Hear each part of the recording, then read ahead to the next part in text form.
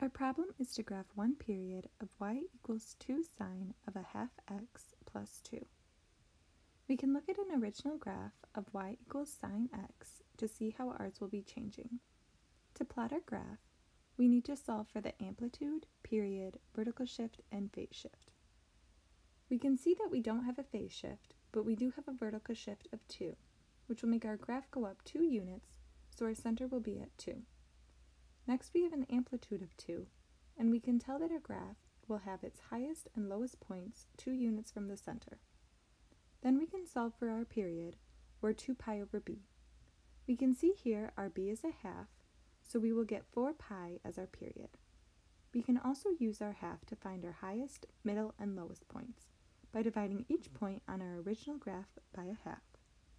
So we will start at 0 and then move up to pi through 2 pi, down to 3 pi, and back up to 4 pi. And with that, we have graphed one period of y equals 2 sine of a half x plus 2.